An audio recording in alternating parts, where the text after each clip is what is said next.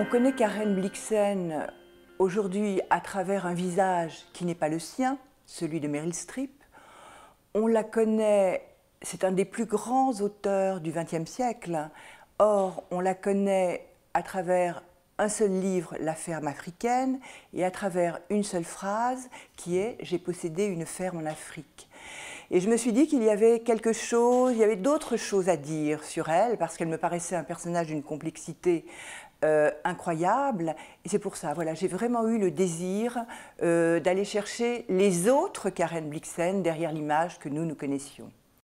J'ai trouvé une femme euh, d'une complexité incroyable qui a fait preuve tout au long de sa vie d'une force vitale hors norme, qui a eu le courage à son retour d'Afrique alors qu'elle avait 46 ans, qu'elle était ruinée, qu'elle retournait vivre chez sa mère et qu'elle avait laissé tout ce qui était sa vie, c'est-à-dire sa ferme en Afrique, son grand amour, Denis Finchaton, qui venait de mourir dans un crash d'avion, et elle avait laissé ses kikuyus, les Maasai, la vie sauvage, tout ce pourquoi elle était faite.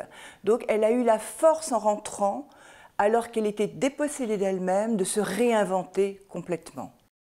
Donc j'ai choisi la forme du roman euh, parce que euh, d'abord des biographies existaient déjà et surtout ça me permettait de créer des personnages ou en tout cas de faire intervenir des personnages d'une manière beaucoup plus subjective et personnelle et qui apportait un autre regard sur Karen Blixen. C'est-à-dire j'ai donc évité la forme très linéaire. Donc j'ai choisi pour narratrice, qui est, le fil rouge de tout le livre, Clara Svensson, qui a été la secrétaire de Karen Blixen pendant plus de 20 ans, qui est probablement la personne qui la connaît la mieux au monde, mais qui n'avait pas connu la période africaine. Elle l'a connue à son retour pendant la Deuxième Guerre mondiale.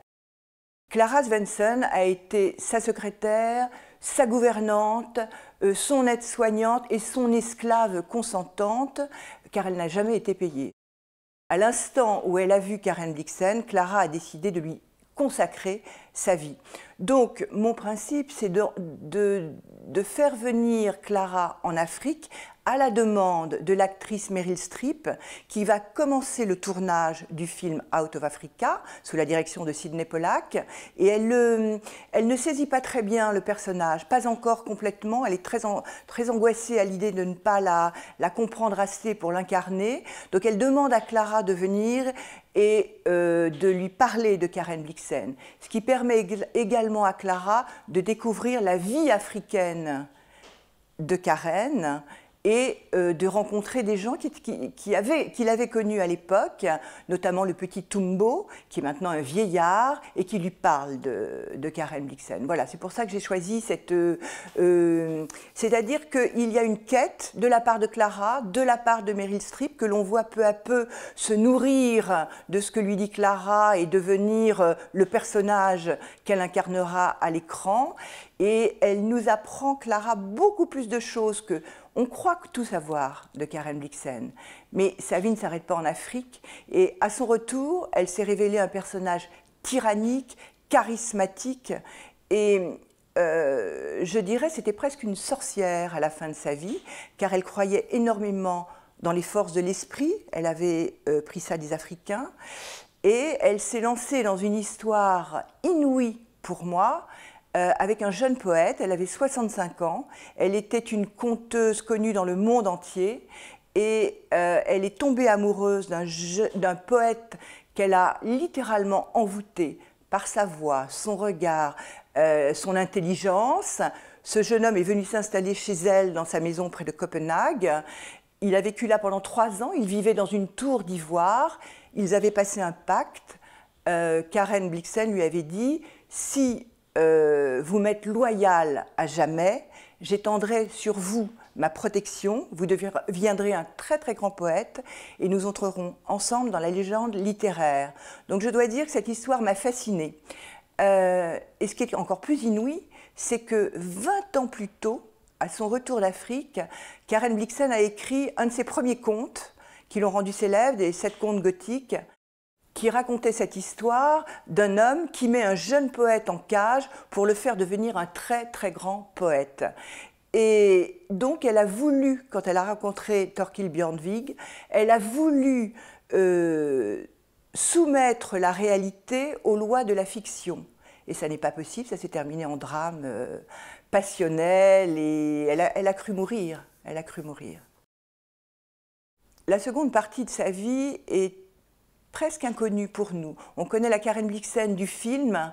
Ce n'est pas tout à fait Karen Blixen telle qu'elle s'est révélée dans la vie, même à l'époque africaine, parce qu'elle n'a eu de cesse de, sculpter sa propre légende.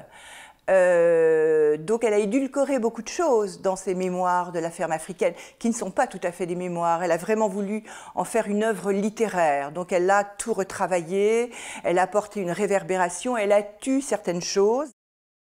J'ai choisi de parler de Karen Blixen notamment au début du livre, à travers le prisme du film, parce que pendant que je travaillais euh, sur le livre, souvent on me demandait mais que faites-vous en ce moment? Et je disais je travaille euh, sur Karen, j'enquête sur Karen Blixen, et je voyais la perplexité sur euh, les visages, et j'ajoutais aussitôt Meryl Streep, Out of Africa, et alors là, les visages s'éclairent, ah oui, ah oui. Et c'est vrai que sa notoriété en tant qu'écrivain s'est ternie, mais elle existe aujourd'hui à travers le film. Donc c'est pour ça que j'ai voulu passer par les certaines scènes du film, non pas pour les démonter, mais pour montrer quelle était la réalité.